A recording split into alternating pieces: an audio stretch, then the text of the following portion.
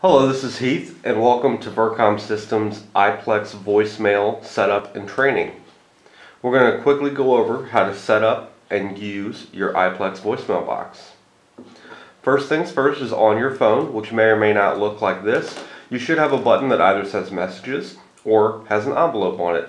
This is how you're going to get into your voicemail box if you want to set up or listen to your voicemails on your handset. So we're going to go ahead and run through a quick setup process of a brand new voicemail box to show you what that's like. First, I'm going to press the messages button. Password. I'm going to be prompted for my password. The first time you log in to your voicemail box, your password is your extension number. Welcome to iPlex Mail. First, I will guide you through a short setup process. Please enter your new password followed by the pound key. Now you'll select a new password. This can be anything that you'd like as long as it is not your extension number again. I'm going to use 123. Please re-enter your password followed by the pound key. Your passwords have been changed. After the tone, say your name and then press the pound key. Heath Larson. You want to say your full name so that we can utilize this for the company directory. Thank you. Press 1 to accept this recording. Press 2 to listen to it. Press 3 to re-record your message. If you're unhappy with your name, you can press 3 to re-record or 2 if you'd like to hear it. I'm going to go ahead and accept. Your message has been saved. You have no messages. Press 2 to change folders. Press I'm going to hit for... the end call button to end this. Now that your voicemail box is set up, let's go through the options available to you. First things first, we'll show you what happens when you actually get a voicemail notification. Now you'll notice that I have a notification on my phone that I have a new voicemail. There's also a blinking envelope up here on the top right and your LED notification light will blink on the top right that shows you you have a voicemail. To connect your voicemail you will have an option now on your soft key to press the connect button or you can utilize your envelope button. Password. I'm now going to use my password to get into the voicemail You box. have one new message. Press 1 for new messages. Press 2 to change folders. Press 3 I'm going to hang up on that real quick. So the first option she'll give you is to press 1 to listen to your new messages. You can do that if you want to listen to any unread messages that you might have. Option 2 she'll give you is to change folders. That is to listen to any other messages that might be saved into different folders in your voicemail box. Option 3 is for advanced options. This is in case you wanted to add the call envelope to your voicemail messages or forward your voicemail messages elsewhere while you're gone away. Option 4 is to listen to messages that you left in your voicemail box but have not been saved into a folder. Option 5 is to repeat the message that you just listened to. Option 6 will allow you to skip your current message and move on to the next. Option 7 will delete the message you're currently listening to or just finished listening to. Option 8 will allow you to send the message to another extension, so if you get a voicemail by accident or would like to forward it on to your boss or another employee, you can use option 8 to send that to their direct extension. Option 9 is to save the message that you're currently listening to. Option 0 will take you into your mailbox options. Star is to help, that will repeat all of your options for you, and pound is to exit.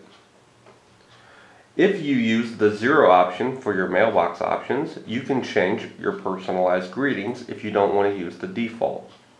The first option in your mailbox options is your unavailable message. This message plays if your phone rings and you do not answer it. Option 2 is your busy message. This will play if you are on the phone or if you're in do not disturb mode. Option 3 is to re-record your name if you're unhappy with the way it sounds or you changed your name. Option 4 is a temporary message.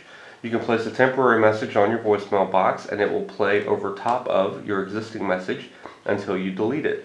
This is usually used in the case of a vacation or some sort of notification for a temporary office outage. Option 5 is to change your password. If you want to change your password again, you can use option 5 to do so. Just keep in mind that you can use anything that you'd like as long as it is not your extension number. Another thing to note, if you want to check your voicemail from another phone in the building or remotely, you can utilize star 98 as access to your voicemail. So if I'm on any phone in the building and I dial star 98, iPlex Mail. Mailbox. It's going to ask me for my mailbox because I could be calling from any phone. I will tell them which mailbox I am, which is 2013, Password. And then my password, which is 123. You have one. I can now check my messages from any phone in the building. Or if you're calling from an outside line, you can use this when you get to your company's menu or automated attendant. Also note that on iPlex standard, if your system administrator has allowed it, you will also receive email notifications of all voicemails that are left in your voicemail box. This will include the time, date, duration, and caller ID of the incoming voicemail.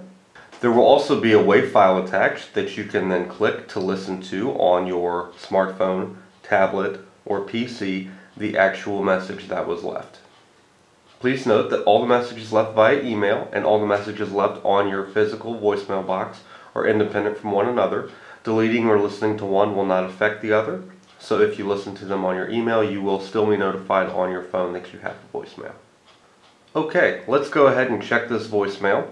I'm going to press my messages button Password. and then use my password 123. You have one new message. Press one for new messages. We'll press one to listen to that message. Message. This is a test voicemail. One, two. Now three. during this voicemail, This is Heath if I get a number that I want iPlex to voicemail. catch again, One, I can two, use three. this star key iPlex voicemail. to back One, this two, message three. up three seconds at a time. One, in order three. to continue listening over and over until I can get One, two, the email three. or phone number that I would like. Test. One, two, I can also use the pound key Voicemail test. to fast forward this message Thank you for your time. all the way to the end. Press 3 for advanced options. Press 5 to repeat the current message. Press 7 to delete this message. Press 8 to forward the message to another user. Or 9 to save this message. I'm gonna go ahead and save this message help. by pressing Which 9. folder should I save the message to? Press 0 for new messages. 1 for old messages. 2 for work messages. 3 four, family messages. 4 four, friends messages. Or pound to cancel. I'm going to go ahead and save this into work one. messages. Save to work messages. No more messages. Press 3. Now, when she gives you those options for folders, if you select the zero for unread messages, it will act as if it's a brand new voicemail, or you can save it into your old work, family, or friends message folders if you would like.